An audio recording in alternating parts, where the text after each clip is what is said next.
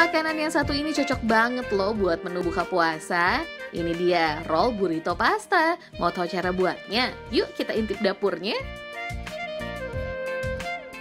Bahan-bahan yang diperlukan antara lain 100 gram pasta fusilli yang sudah direbus, 100 gram daging giling, 80 ml saus bolognese, 3 lembar kulit tortilla, 2 sendok makan bawang bombay cincang, 2 siung bawang putih cincang, 1 sendok teh garam, setengah sendok teh merica, 20 gram jagung, 70 gram keju mozzarella yang sudah diparut, 1 buah tomat yang sudah dipotong dadu, dan 2 sendok makan mentega. Semua bahan sudah lengkap. Yuk kita masak! Pertama siapkan teflon, olesi dengan mentega kemudian panggang kulit burrito hingga kecoklatan.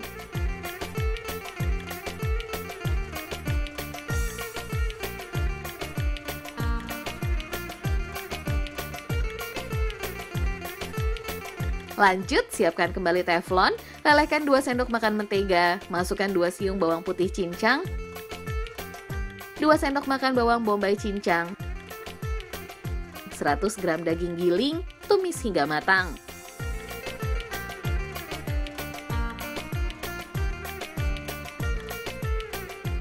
Kemudian masukkan 80 ml saus bolognese,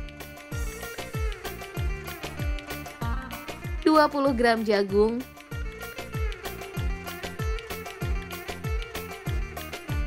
garam dan lada secukupnya, dan terakhir masukkan 100 gram pasta fusilli yang sudah direbus, aduk kembali hingga matang.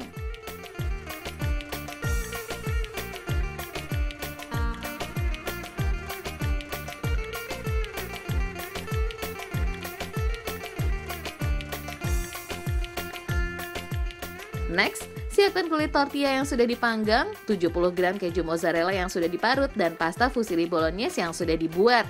Pertama, ambil satu lembar kulit tortilla, isi dengan pasta fusilli bolognese.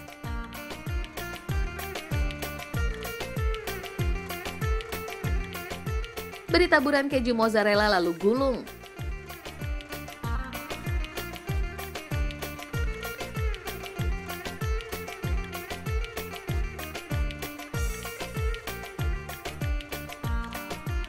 Lakukan hal yang sama hingga semua bahan habis ya cook lovers.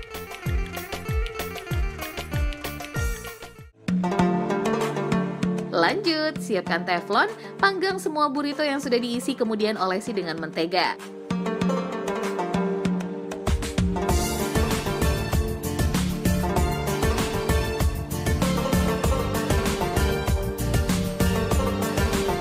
Oh iya, jangan lupa nih dibalik cook lovers ya agar matangnya merata.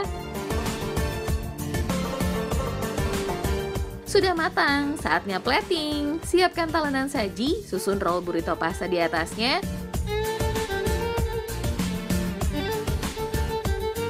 Beri potongan tomat dan jagung sebagai pemanis. Jangan lupa saus tomat, mayones, dan taburi potongan parsley sebagai pelengkap.